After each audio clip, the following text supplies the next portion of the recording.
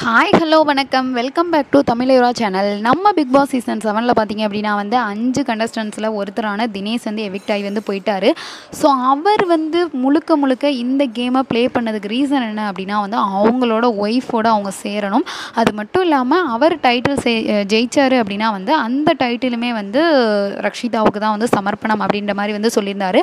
அந்த விதத்தில் பார்த்தீங்க அப்படின்னா வந்து எல்லாருமே என்ன சொல்லிட்டு வந்தாங்க அப்படின்னா வந்து தினேஷ் உங்களுக்கு டைட்டில் கிடைக்கலனாலும் உங்கள் ஒய்ஃபோட நீங்கள் சேரணும். அதுதான் மிகப்பெரிய கிஃப்ட் அப்படின்ற மாதிரி சொல்லியிருந்தாங்க. அதே மாதிரி அவரோட எந்த ஒரு மொமெண்ட்ஸ்லேயுமே சரி அவரோட ஃபீலிங்ஸை அவங்கள பற்றினதை வந்து ஷேர் பண்ணிகிட்டே தான் வந்து இருந்தார். பட் இதெல்லாம் பார்த்த எல்லாருமே வெளியில் என்ன பேசிக்கிட்டாங்க அப்படின்னா வந்து கண்டிப்பாக இதெல்லாம் பார்த்து ரக்ஷிதா மனசு மாதிரி உன்னோட சேர்ந்துருவாங்க அப்படின்ற மாதிரி பேசிகிட்டு இருந்தாங்க. பட் இதுக்கு எல்லாத்துக்குமே ட்விஸ்ட் அண்ட் டர்னாக ரக்ஷிதா ஒரு போஸ்ட் போட்டிருக்காங்க அவங்களோட இன்ஸ்டாகிராம் பேஜில் அது என்ன அப்படின்றத இந்த வீடியோவில் நம்ம வந்து பார்க்க போகிறோம் ஸோ என்ன போட்டிருந்தாங்க அப்படின்னு பார்த்தீங்கன்னா கணவனாக இருந்தாலும் சரி மனைவியாக இருந்தாலும் சரி கேர்ள் ஃப்ரெண்டாக இருந்தாலும் சரி செக்ஸ் பார்ட்னராக இருந்தாலும் சரி நோ மீன்ஸ் நோ தான். இது எல்லாருக்கும் புரியும் அப்படின்னு நினைக்கிறேன். அதாவது என்ன சொல்கிறாங்க அப்படின்னா வந்து நான் நோனா நோ தான். இதுக்கு மேலே என்னோட லைஃப்பில் அவருக்கு இடம் இல்லை. ஸோ இதை எல்லாரும் புரிஞ்சுக்குப்பீங்க அப்படின்னு நான் நினைக்கிறேன் அப்படின்ற மாதிரி சொல்லியிருக்காங்க.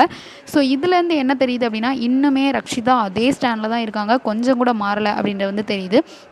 ஸோ இன்னும் என்ன நடக்கும் அப்படின்றது வெளியில் வந்து அவர் என்ன பண்ணுவார் அப்படின்றது வந்து தெரில ஸோ இதை பற்றி நீங்கள் என்ன நினைக்கிறீங்க அப்படின்னு மறக்காமல் நம்ம சேனலுக்கு கீழே உள்ள பாக்ஸில் கமெண்ட் பண்ணுங்கள் இந்த வீடியோ உங்களுக்கு பிடிச்சிருந்தா லைக் பண்ணுங்கள் ஷேர் பண்ணுங்கள் கமெண்ட் பண்ணுங்கள் அப்படியே நம்ம சேனலை சப்ஸ்கிரைப் பண்ணிடுங்க ஓகே பை பை உங்களிடம் இந்த விடைபெறுவது உங்களுக்கு கனகராஜ்.